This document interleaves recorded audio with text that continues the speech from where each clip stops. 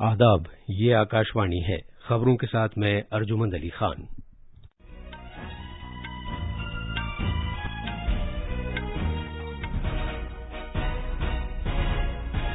वज़ीर आज़म नरेंद्र मोदी ने हम वतनों पर ज़ोर दिया है कि वो मुल्क पहले, हमेशा पहले के मंत्र के साथ आगे बढ़ें। आकाशवाणी पर मन की बात प्रोग्राम में वज़ीर आज़म ने कहा कि महात्मा गांधी की भारत छोड़ो तहरीक की तर्ज पर आज हर भारतीय शहरी को भारत जोड़ो आंदोलन चलाना होगा। सदर जमहूरिया रामनाथ कोविंद मरकज के जेर इंतज़ाम इलाकों, जम्मू और कश्मीर और लद्दाख के चार दिन के दौरे पर श्रीनगर पहुँच गए हैं। महाराष्ट्र के बारिश से मुतासरा जिलों में जेईई मेन इम्तिहान के उम्मीदवार अगर आज और मंगल को इम्तिहान नहीं दे सके तो उन्हें एक और मौका दिया जाएगा। और टोक्यो ओलंपिक खेलों में मर्दों के लाइट वेट डबल स्कल्स जुमरे में भारतीय जोड़ी ने सेमीफाइनल के लिए क्वालिफाई कर लिया है।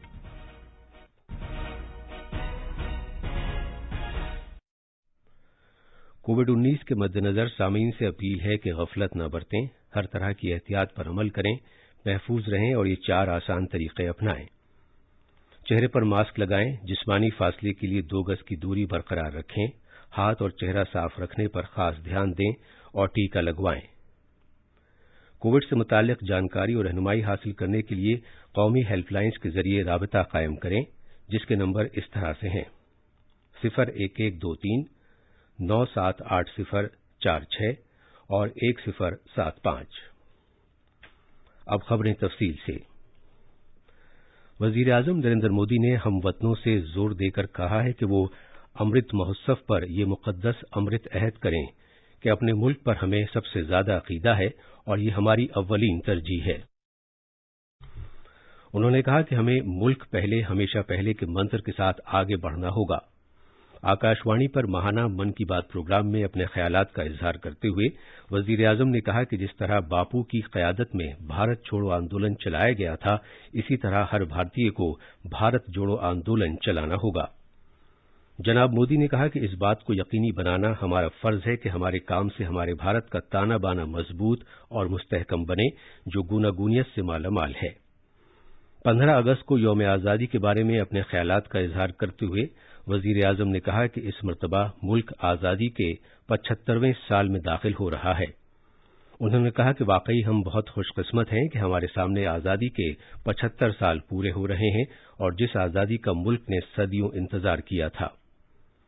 जनाब मोदी ने ज़ोर देकर कहा कि हमें मुल्क के लिए जीना होगा, मुल्क के लिए काम करना होगा और ऐसा करते वक्त छोटी से छोटी कोशिश के भी बड़े नतीजे सामने आ सकते हैं।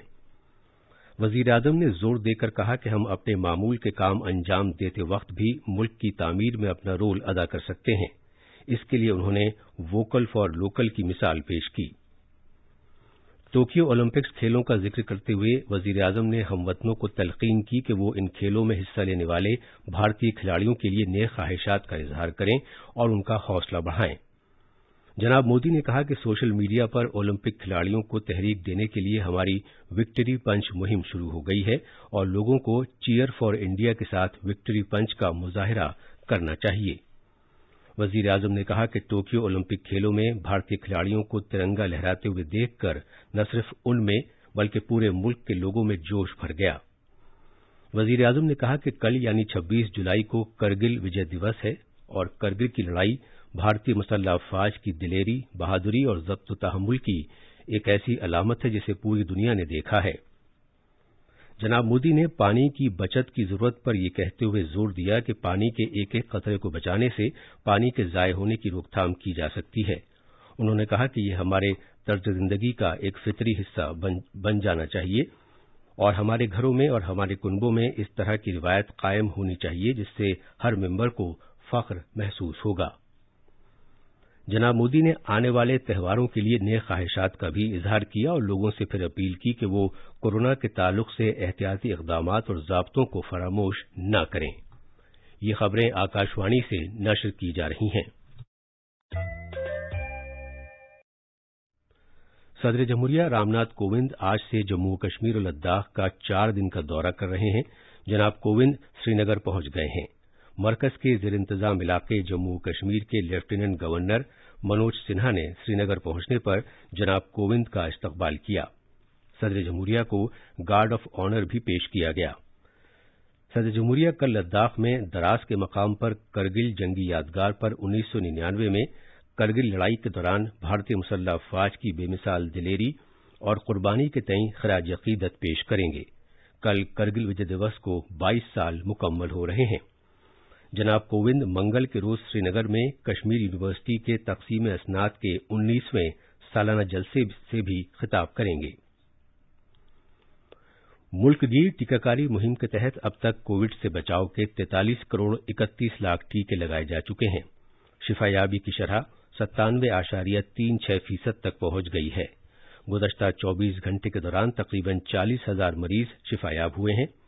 अब तक कोविड उन्नीस से तीन करोड़ पाँच लाख से ज़्यादा अफराद शिफायाब हो चुके हैं। मुल्क में गुजश्ता 24 घंटे में उनतालीस हज़ार सात सौ बयालीस से ज़्यादा नए मामलों की इत्तला है। मुल्क में जेर इलाज मरीजों की तादाद सरेदस चार लाख आठ हज़ार दो सौ बारह है। फौज बहरिया और फिजाइया महाराष्ट्र, कर्नाटक और गोवा में सैलाब से मुतासर लोगों को बचाने के लिए दिन रात काम कर रहे हैं। फौज की तीनों शाखें सैलाब से मुतासर इलाकों में लोगों को गजाई सामान, पानी और तिब्बी इमदाद भी पहुँचा रही हैं। मजीद इमदादी टीमों और हवाई जहाजों को तैनाती के लिए तैयार रखा गया है। फौज की तीनों शाखें महाराष्ट्र के सबसे ज़्यादा मुतासरा रत्नागिरी, कोल्हापुर और सांगली जिलों के इंतजामिया के साथ करीबी तालमेल से काम कर रही हैं। मरकजी वज़ीर तालीम धर्मेंद्र प्रधान ने ऐलान किया है कि महाराष्ट्र के बारिश और मिट्टी के तोदे गिरने से मुतासरा सात शहरों के वो उम्मीदवार जो मुश्तरका दाखिला इम्तिहान, जेईई मेन 2021 के इम्तिहान मराकज तक नहीं पहुँच पाए, उन्हें एक और मौका दिया जाएगा। एक ट्वीट में जनाब प्रधान ने मुत्तला किया कि इम्तिहान से मुतालिक कौमी एजेंसी एनटीए को मशवरा दिया गया है कि वह उन सभी तलबा को, जिनके इम्तिहानात के मराकज कोल्हापुर, पालघर, रत्नागिरी, रायगढ़, सिंधुदुर्ग, सांगली और सतारा में हैं और वह 25 और 27 जुलाई को वहाँ न पहुँच पाएँ, उन्हें एक मौका और दिया जाए। टोक्यो ओलंपिक खेलों में बैडमिंटन में भारत की पीवी सिंधु ने खवातीन सिंगल्स के पहले राउंड के मैच में इसराइल की सेनिया पोलिकारपोवा को 21-7 और 21-10 से हरा दिया। इधर किश्ती रानी के मुकाबलों में भारत के अरविंद सिंह और अर्जुन लाल ने लाइटवेट मर्दों के डबल स्कल्स मुकाबले में सेमीफाइनल के लिए क्वालीफाई कर लिया है। भारतीय जोड़ी तीसरे मकाम पर रही और इस तरह उसने सेमीफाइनल में अपनी जगह बनाई। निशानेबाजी में दिव्यांश सिंह पंवार और दीपक कुमार 10 मीटर के एयर राइफल क्वालिफिकेशन मुकाबले से बाहर हो गए हैं। टेबल टेनिस में मर्दों के सिंगल्स जुमरे में साथियाँ गनासेखरन हांगकांग के लाम स्यू हांग से चार तीन से हार गए। टेनिस में सानिया मिर्ज़ा और अंकिता रैना की भारत की जोड़ी, यूक्रेन की जोड़ी से पहले राउंड में ही छह सिफर और छह सात से हार गई। आर्टिस्टिक जिम्नास्टिक के मुकाबले में भारत की प्रणीति नायक भी खवातीन ऑलराउंड क्वालिफिकेशन में क्वालीफाई करने में नाकाम रहीं। वो टोक्यो ओलंपिक्स खेलों में भारत की वाहिद जिम्नास्ट हैं। भारत और श्रीलंका के दरमियान तीन ट्वेंटी ट्वेंटी मैचों की सीरीज़ का पहला मैच आज शाम कोलंबो के आर प्रेमदासा स्टेडियम में खेला जाएगा। ये मैच भारतीय वक्त के मुताबिक शाम सात बजे शुरू होगा। भारतीय कप्तान शिखर धवन ने कहा है कि टीम इंतजामिया नए खिलाड़ियों को मौका दिए जाने की ख्वाहिशमंद है, बशर्ते कि वो हतमी ग्यारह खिलाड़ियों में खेलने के लिए फिट हों। और अब आखिर में अहम खबरों की सुर्खियाँ, एक मरतबा फिर। वज़ीर आज़म नरेंद्र मोदी ने हम वतनों पर ज़ोर दिया है कि वो मुल्क पहले, हमेशा पहले के मंत्र के साथ आगे बढ़ें। आकाशवाणी पर मन की बात प्रोग्राम में वज़ीर आज़म ने कहा कि महात्मा गांधी की भारत छोड़ो तहरीक की तर्ज पर आज हर भारतीय शहरी को भारत जोड़ो आंदोलन चलाना होगा। सदर जमहूरिया रामनाथ कोविंद मरकज के जर इंतज़ाम इलाकों जम्मू व कश्मीर और लद्दाख के चार दिन के दौरे पर श्रीनगर पहुँच गए हैं। महाराष्ट्र के बारिश से मुतासर जिलों में जेईई मेन इम्तिहान के उम्मीदवार अगर आज और मंगल को इम्तिहान नहीं दे सके तो उन्हें एक और मौका दिया जाएगा। और टोक्यो ओलंपिक खेलों में मर्दों के लाइट वेट डबल स्कल्स जुमरे में भारतीय जोड़ी ने सेमीफाइनल के लिए क्वालिफाई कर लिया है। इसके साथ ही खबरों का ये बुलेटिन खत्म हुआ।